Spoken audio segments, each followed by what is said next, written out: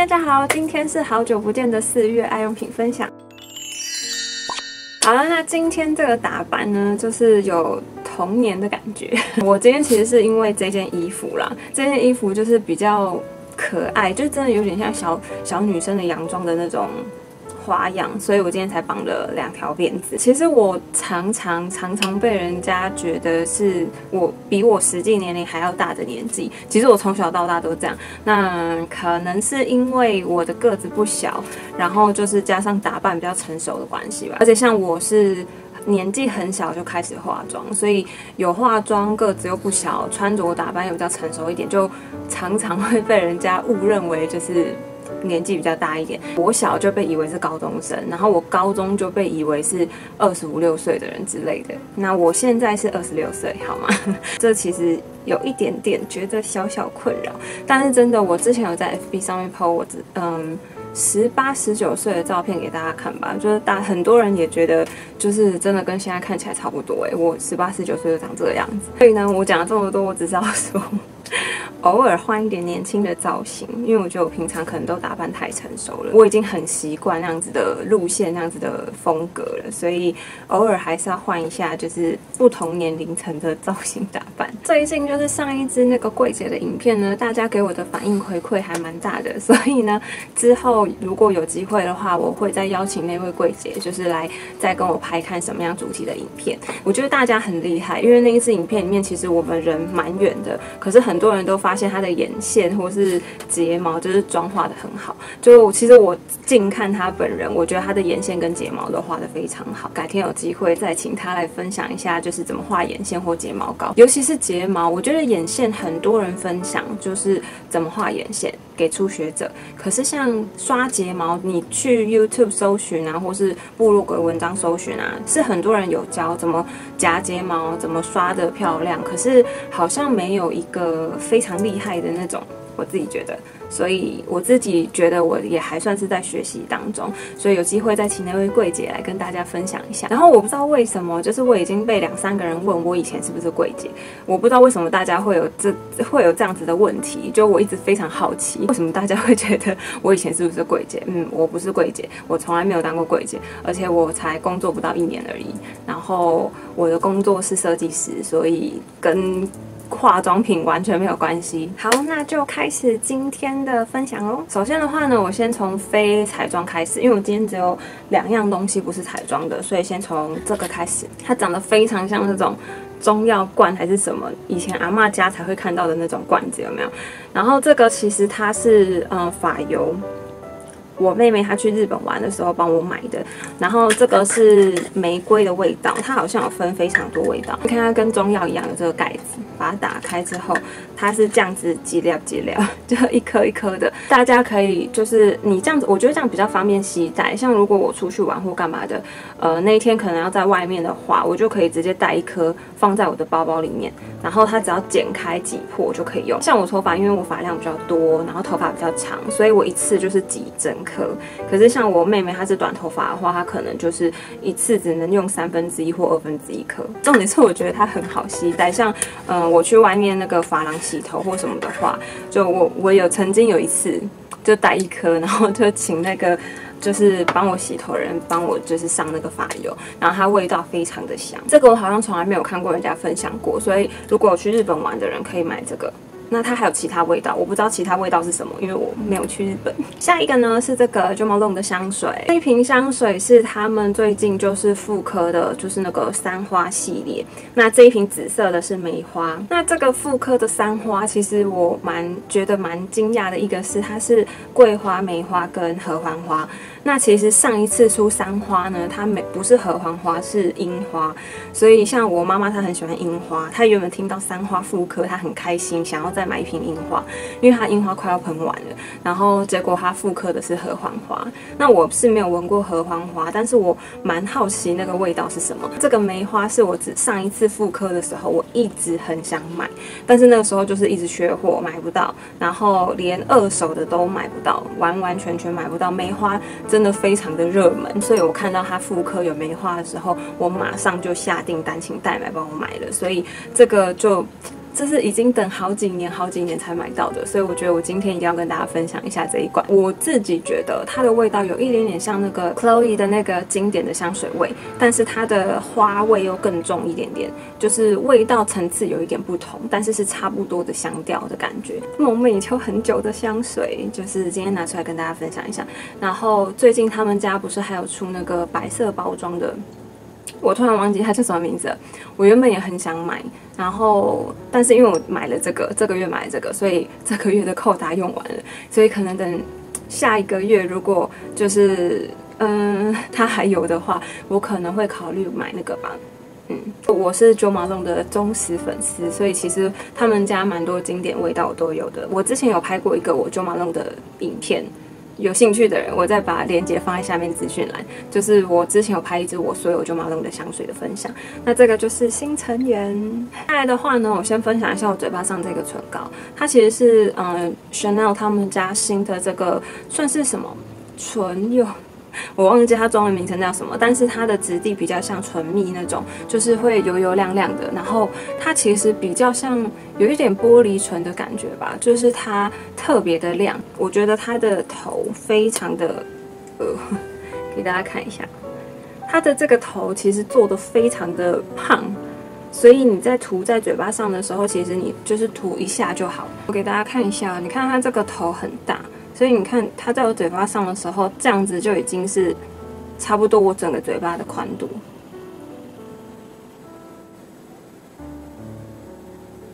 它涂完大概就是这样，就是它颜色蛮饱和，然后那个水润度很够。所以你如果最近想要找那种玻璃唇的那种唇唇部产品的话，我觉得这一个还蛮适合。那我的色号是七四八。比较算是蜜桃色，就日常都可以用，上班上学什么，我觉得都 OK。这种亮亮的唇部产品，我觉得我每次看别人擦都觉得非常好看，可是我自己擦就会觉得很麻烦，就是会粘头发，会粘东西之类的。但是，就是我觉得为了好看，我可以我可以接受，就是它比较容易掉，然后你需要一直去补它或是什么的。再来跟大家分享的是这两个产品，那这两个产品现在都在我眼睛上，一个是 Sigma 他们家的眼线液，那另外一个是 Kiss Me 他们家的睫毛膏。那这个睫毛膏是限量的玫瑰棕的颜色，为什么叫玫瑰棕？因为它其实是棕色，但有一点点带红色，其实是红棕色。那这个 Sigma 的眼线液，它其实是有一点点带绿色，它不是纯黑的一个眼线。那我拉近一点给大家看，眼线是这个绿色，其实不太明显，接近黑色的感觉，这个眼线呢非常厉害的地方就是它完完全全不会晕，在我的眼睛上完全不晕。画的时候我觉得也比我想象中的好勾勒，就是它的头其实是这样子的。我已经其实我已经很久没有用这种头的眼线液了，然后画给大家看，它颜色就是哎呦，它颜色就是非常的饱和。然后它真的干掉之后，完完全全不会掉，很厉害。睫毛的部分，我今天就只有刷这一支，单单刷这一个颜色，就是我的睫毛，它非常非常的长，然后卷翘度也一整天都不会掉，然后我用起来也不太会晕，所以对我来说，我觉得是非常厉害的睫毛膏。是这一支，其实我也有买它的黑色，然后玫瑰棕，我觉得是比较特别一点，就是它让可以让我的睫毛看起来比较那种。朦胧的感觉，因为它就是，呃，颜色不会这么的黑。但如果你想要就是比较稍微艳丽一点的妆的话，我就觉得黑色会比较适合。那咖啡色算是一个新尝试，就是我从来没有擦过咖啡色的睫毛膏。两支产品是我这个月比较常用到的。然后像睫毛的部分的话，我这个月非常喜欢刷睫毛膏，所以就是这个对我来讲，就是我这个月的使用率比较大。所以呢，就跟大家分享这两个，而且我。很少听到有人分享 Sigma 的眼线液，但我用起来觉得它真的超级黑，就是颜色超级饱和，然后又不会晕。这个真的大家要去试试看。再来，我要分享一个睫毛夹，它是我的第二眼好物，就是 Suku 的睫毛夹。Suku 的睫毛夹我知道非常多人都很推，说它非常好用。可是我刚买它的前三个月吧，我真的是不觉得它哪里好用。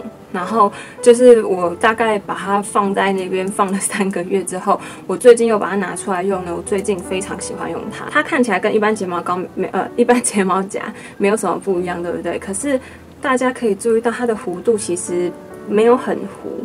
它算是偏比较平一点的，所以像我的眼睛比较长的人，常常会头尾夹不到，因为它如果弧度太弯的话，我的头尾就会夹不到。这个睫毛夹用起来就非常刚好，我整个都夹得到。然后再来就是大家看发现这个地方它其实距离很近，也就是我在夹的时候，我没有我不是这样子很用力，就是可以这样子，大家知道吗？就是通常那种一般的睫毛夹应该差不多都是这样。可是这一支它距离很近，就是我在夹的时候是轻轻慢慢夹，就是小力多次的夹，它就可以非常的翘。眼睛上现在这个睫毛就是用这一支夹的，所以我后来就是最近非常喜欢用它。这个是我的第二眼好物，我刚开始觉得它还好，现在觉得它非常好用。再来跟大家分享是我今天的眼影，就是这一盘 NARS 他们最近出的眼影盘。这一盘眼影盘真的很漂亮，它是这样子大地色系的眼影的配色，然后它里面呢比较特别，就是像这几个可以做呃眼影打底的颜色都是雾面的，然后像这几个颜色都是稍微有一点珠光的。然后深色这个又是雾面的，所以像这个你可以把它拿来代替你的眼线，然后这些雾面颜色打底，它也有画眼窝的颜色，所以我觉得这个这一盘就是一个大地日常可以用的颜色，也是不管上班族或学生族都可以画，常常用得到的，而且它的粉质很细又非常显色，随便弄一个颜色给大家看哦，就是它粉质其实很软。它的颜色非常的漂亮，然后我觉得真的是如果大地主一定要收的一盘，这一盘真的很值得收藏。大家刚刚看到我的眼影，我就是用这一盘画的，然后我的眼睛中间有亮亮的颜色，给大家看一下哦。你看我眼睛中间有这个亮亮的亮粉的颜色，这个是另外一个产品，就是 Stila 他们家最近出的这个眼蜜，他们家这个眼蜜最近还蛮有名的，然后我就买了一个颜色来试试看。它其实是很多很多大量粉的一个眼蜜，所以跟一般的眼蜜有一点不太一样。然后像这样子，你把它涂开之后。它就是很很闪亮、很闪亮的一个眼影。通常我觉得它比较适合拿来叠加在中间，或者是你的一个重点，就是你要它哪里变得很闪亮，然后就是变成你一个你今天的妆的一个目光 的话，就是我觉得这个眼蜜非常的适合。虽然我觉得这个眼蜜有一点小贵，因为像它这样子一罐大概。就是八九百台币左右吧，我有点忘记价钱了。反正我记得是不便宜。像我这样子，其实不算是浓妆的状况，对我来讲，这不是浓妆的状况。我觉得它都可以做搭配。那浓妆的时候当然可以，就是我可以把它亮粉压得更密一点，然后像这么远的距离，就远远的就可以看到我的眼睛超级闪亮这样子。所以这个我觉得可以尝试看看，因为毕竟这么亮的，就是这么大亮粉的眼蜜，其实还蛮少见。再来的话，我跟大家分享。一个就是理肤宝水他们家的防晒，它是嗯算新产品嘛，我也不太确定，因为它这个润色，它的防晒其实有很多种。那我的这个它就叫润色防晒。我之前上一支的那个妆容影片用的是小样，那我后来用完之后就去买这个正装了。那有一些人在问说这个会不会油腻？那对我来讲，我是每天上妆的人，那它就是我的妆前产品，就是我的隔算隔离霜。好，反正隔离霜跟妆前产品对我来讲都是一样的，重点就是要有防晒系数。那时候想尝试这个的时候就觉得它有 SPF 五十，虽然我大部分都待在室内，但我觉得用这个对我来讲比较安心一点，所以我就试试看这个。然后我觉得它润色效果非常的刚好，不会过白，也不会完全涂开之后就没有那个润色的感觉。我觉得如果你是一个不爱化妆的人，你用它之后，你还是可以铺个蜜粉之后再出门。你就不怕觉得脸好像黏黏的感觉？因为像我用这个，我完全不觉得它油腻。可是可能是因为我会上后续底妆，然后我会上蜜粉，所以我就完全没有感觉到它油腻的状况。大家看一下我手上刚刚画的那个眼线，我现在这样子怎么搓都搓不掉，有掉吗？没有。然后你看我用卫生纸想把它硬擦掉。也擦不太掉，他们家这个眼线液真的非常厉害，真的。再来的话呢，要跟大家分享是 NARS 的这一款，呃，腮红。这款腮红是他们家最近应该是算春夏春季新出的色号。那这个是我脸上今天的颜色，它长这个样子。它其实是非常就是年轻的那种蜜桃色，我脸上现在这个颜色。就是比较夏天春夏的感觉。他们家最近也出了非常多新的色号，所以有兴趣尝试的人可以去尝试看看。因为，嗯，我也好久没有买他们家的呃腮红类的产品了，所以我觉得这是一个新尝试。因为像我最近最喜欢的腮红，应该就是 Three 或是 Suku 他们家的腮红，那再来可能是 Nars 吧。嗯，对，专柜来讲应该是这样。我现在还没有想起来其他的。那我觉得这个真的也蛮好用，而且他们家的粉压的很密，所以它用量很省，它不太用的凹。像这种颜色，我觉得你是皮肤白的人，我觉得可能会更适合，就是擦起来就是非常甜美的那种路线。当然，那今天的月份爱用品分享就到这边。如果大家喜欢这个影片的话，别忘了在下面帮我按个 like，也别忘了去加入我的 Facebook，最近可能快要有小抽奖活动了。如果你是第一次看我。影片的人也别忘了订阅我的频道，那就这样喽，下次再见，拜拜。